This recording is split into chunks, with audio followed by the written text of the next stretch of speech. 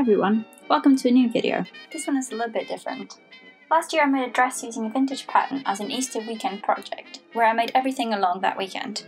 I decided to do the same thing this year. Easter was a while ago now. The pattern is this Woman's Weekly B778. I believe I found this in a vintage shop in Brighton, but it was a while ago. For this, I bought this pale peachy crepe with a swallows pattern and I used some plain cotton for lining, although I wish I hadn't. More on that later. I didn't film the process, but I did cut out a mock-up of the bodice. I also followed all the instructions to constructed, which made a really good practice draw. The pattern was not in my size, all the vintage patterns I find are usually smaller, but it was easy to alter, I just had to add an inch at the side seam. I did this for both the bodice and the skirt patterns, though for the bodice I tapered it up to the bust as the bust fit fine. The bust was in my size. I pinned the pattern pieces and cut them out of the crepe and the cotton. I mostly followed the instructions for the pattern directly, and most of it even made sense. If you guys have used vintage patterns before, you know this isn't always the case.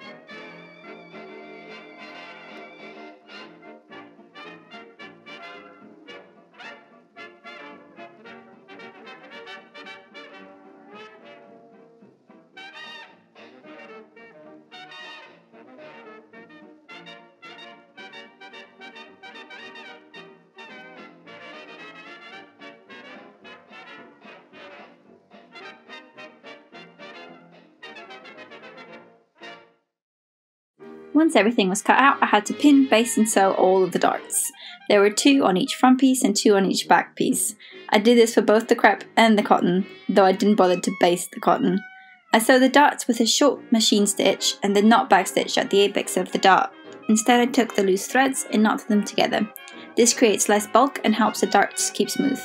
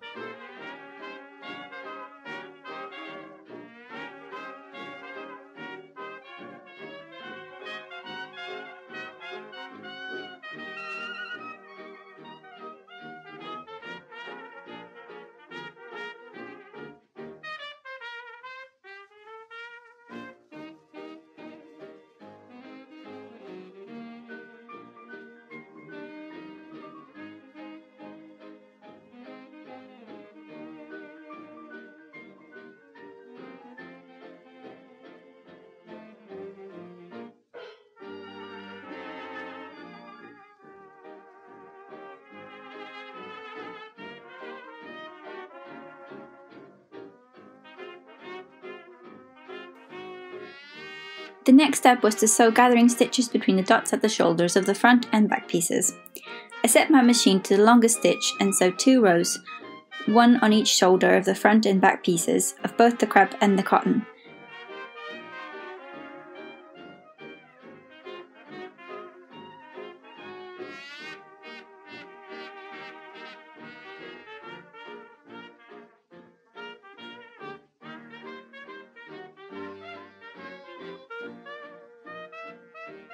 Then I got it down to the correct measurement that I had figured out thanks to my mock-up.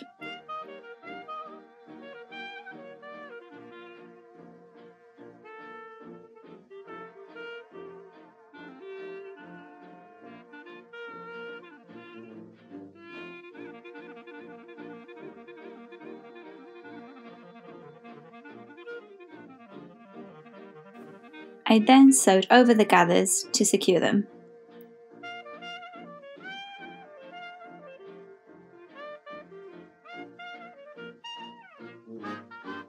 The next step was to work on the neckties. These are attached to the neckline and are a really nice finishing touch. These are just long rectangles of the crepe, I did not line these, where one short edge and the long edge are sewn by machine. Then I clipped the corners and seam allowance and used the open edge to turn it right side out. This was so fiddly. Crepe is a very, very runny fabric, always at flight risk.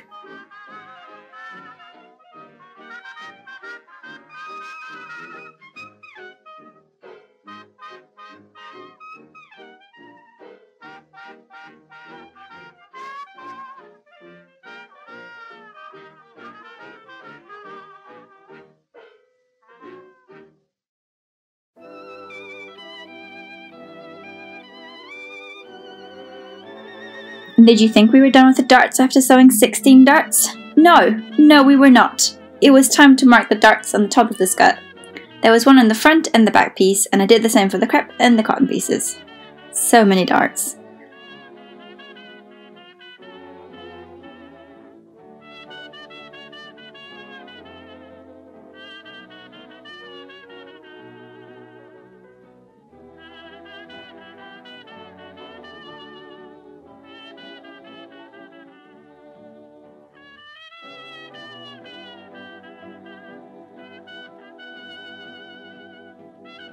I then pinned and basted the front seam.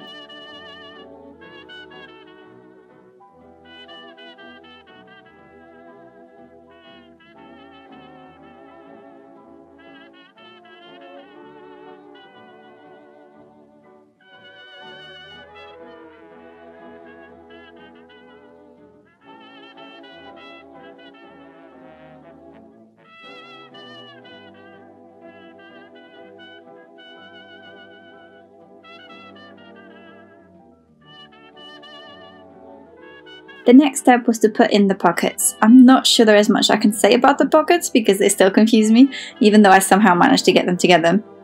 There were two pocket pieces. The first piece was just crepe and it was pinned and basted to the front, or back of the skirt, I can't quite remember, but I think it was the front. Then it was sewn by machine, anchoring at the corner and continuing to sew it uh, down across the waist.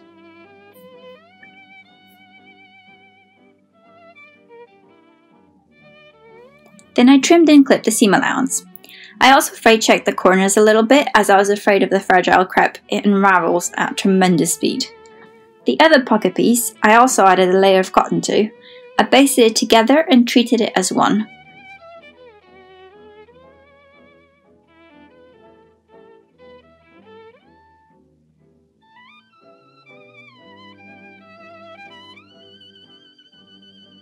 Then this was pinned on, matching the notches and the dots and basted to the other pocket piece. Some of the notches didn't actually match because I did add to the side seam, but that's okay. I figured it out.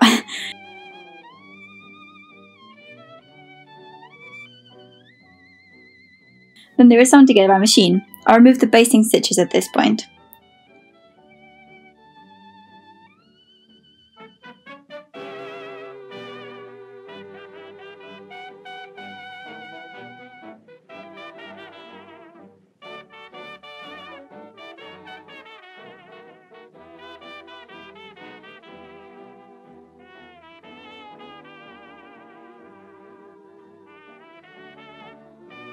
Then, using the dots as a guideline, I set the front seam pleat in place and also basted this.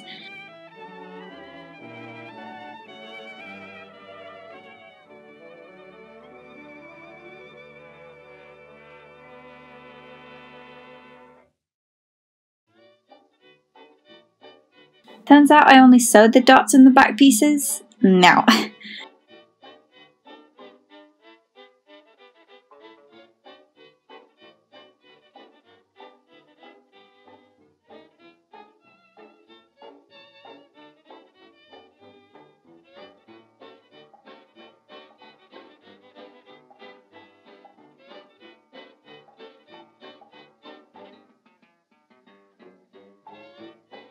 Then I basted inside the back seam leaving a gap at the top for the zipper.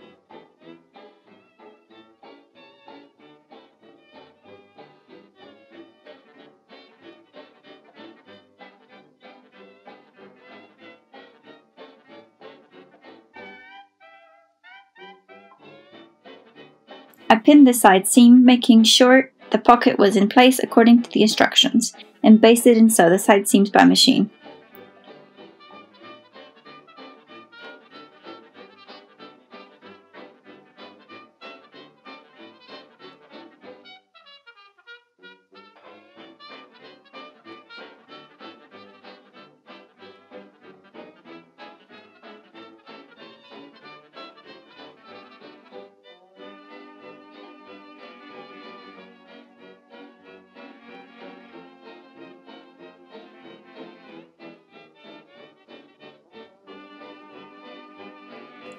Following the instructions, I moved back to working on the bodice and basted and sewed the side seams. I pretty much basted every time I tried to touch the crepe, so I'm, I'm going to stop mentioning it now.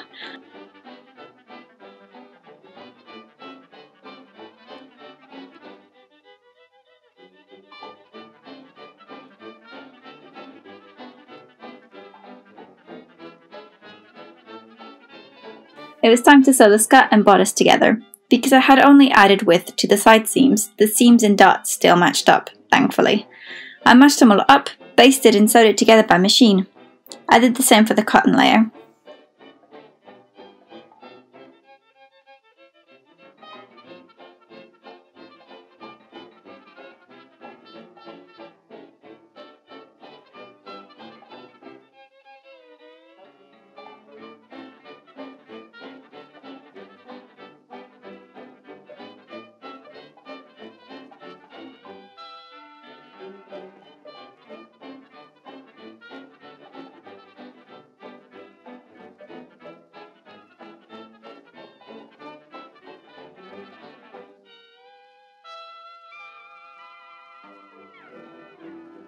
Set in the zipper, I used the method I had seen on a previous vintage pattern.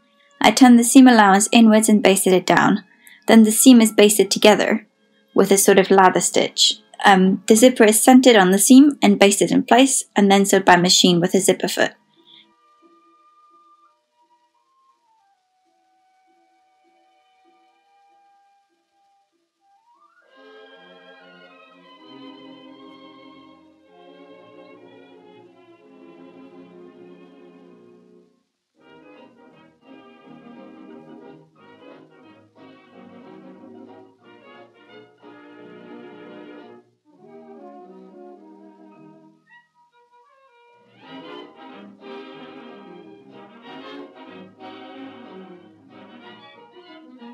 It is a very, very ugly zipper zipper placement, I'll be honest. But if I tried it again, it probably would have been worse because of the crepe. It just unravels really fast and shows every stitch.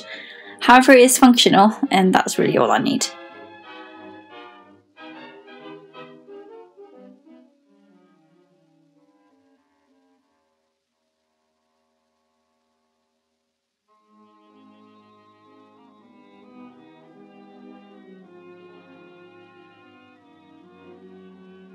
Um, it seems I've lost the footage of attaching the lining as it's already miraculously there now. I remember I simply attached it through the neckline, sewing it by machine. I finished the V-front by hand. The neckline was finished by the neckties.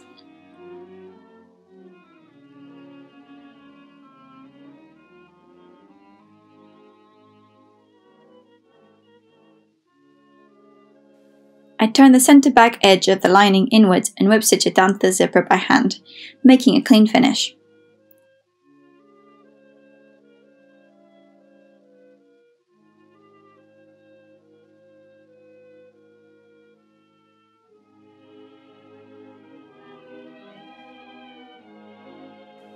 The necktie bit was super confusing, so I stared and reread the instructions a lot.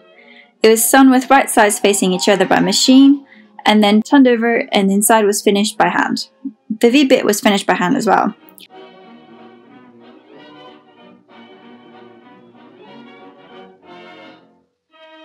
I also had to sew the tiny little square together into a small tube which is added to the neckties to secure them.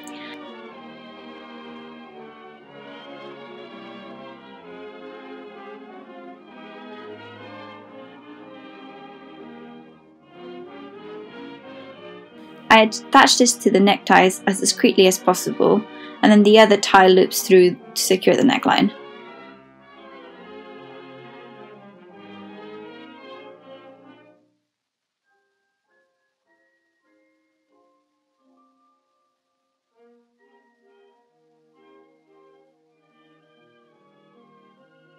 The sleeves were very simple. They were fitted short sleeves that I cut out of the crepe and cotton.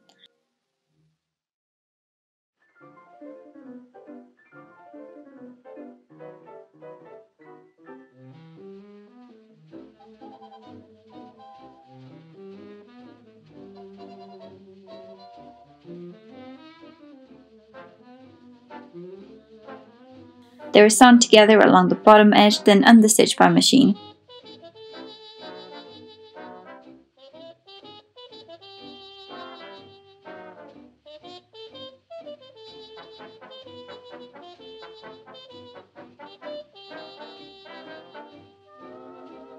basted across the top edge to keep them together and make it easier to attach them.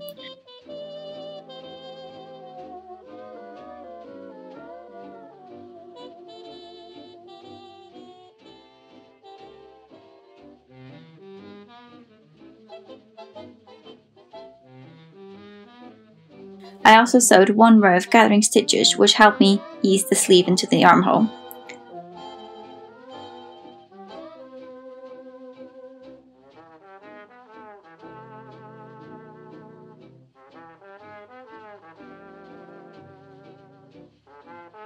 I set up the side seams and flat felled them.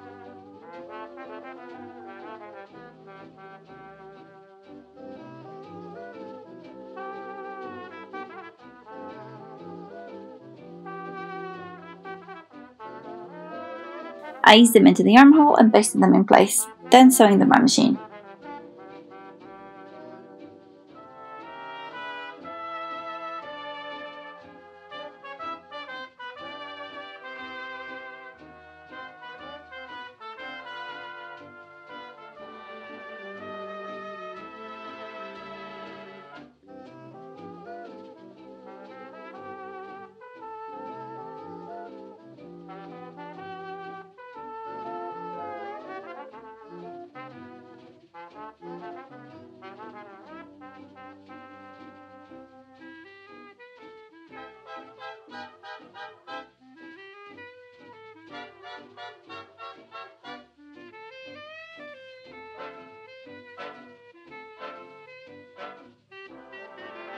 I then flat felled by hand too.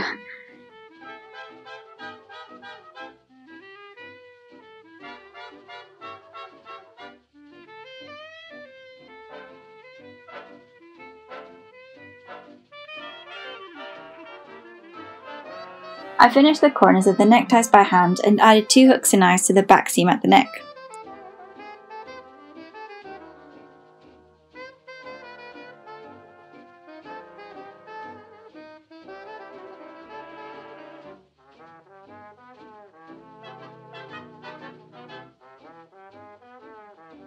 To finish the hem, I tried it on and measured it, then carved the excess.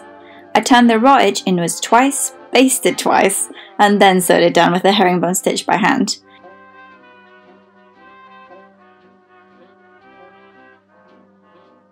And the dress was done. I don't have proper photos of it, but I have worn it many times and I love it. It is super comfortable and makes me feel great. However, I wish I hadn't lined it. The pattern didn't call for it and I could have worn it with a slip for a more floaty effect. But well, I think maybe I'll try to get some different fabric and make it again. We'll see. Thank you so much for watching.